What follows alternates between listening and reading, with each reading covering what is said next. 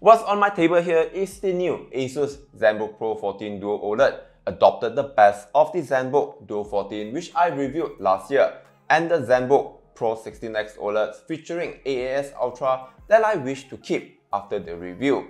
Hi, my name is Joshua Wong, welcome to Fast Episode 75. I do short and fast tech reviews on this channel, that's how the name came about. In this video, I'll be talking about the new ASUS ZenBook Pro 14 Duo OLEDs that I might be switching back to Windows which currently I'm using the Mac Mini as you can see from behind. But first, let's check out the design and specification.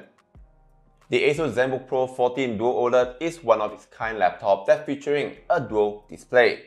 A 14.5-inch 2.8K 120Hz OLED primary display and a 12.7-inch 2.8K 120Hz IPS display. Both screens support finger touch and ASUS Pen 2.0 input that recognize up to 4092 level of pressure sensitivity.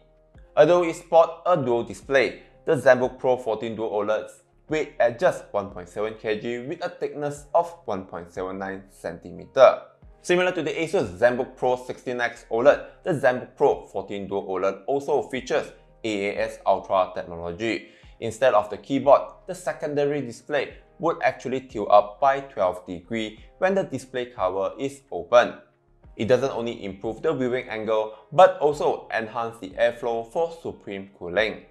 It has a pretty complete port selection, including two Thunderbolt 4.0, which support display and power delivery, one USB-A 3.2 Gen 2, a 3.5mm audio combo port, while on the rear there's an HDMI 2.1, micro SD Express 7.1 card readers, and this charging port. The keyboard and trackpad are moved oddly side by side, to make space for the secondary display. The backlit chiclet keyboard has a 1.4mm key travel. There's no fingerprint scanner, instead it gets an IR webcam with Windows Hello support.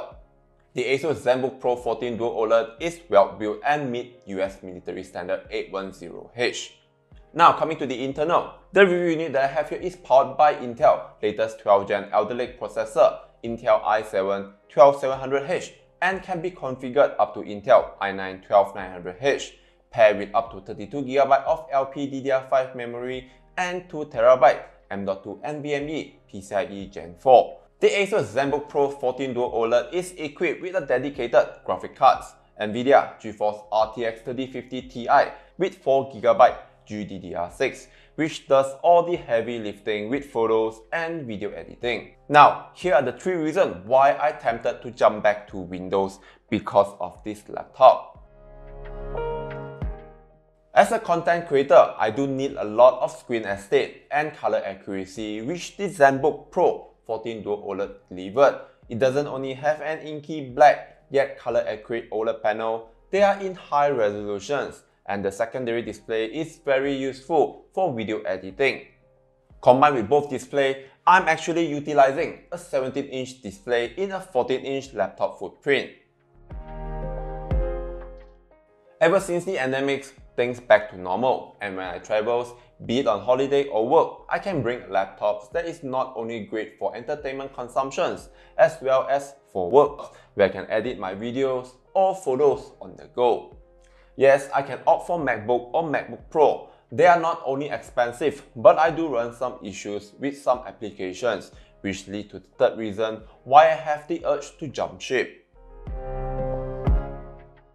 There's no doubt that the Apple Silicon chip are very powerful, but I am an Adobe user and I find it doesn't seem well optimized with Adobe applications like Adobe Premiere Pro and After Effects.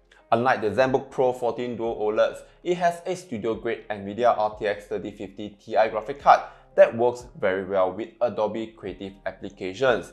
Even has NVIDIA Studio drivers specifically for creative applications like Adobe.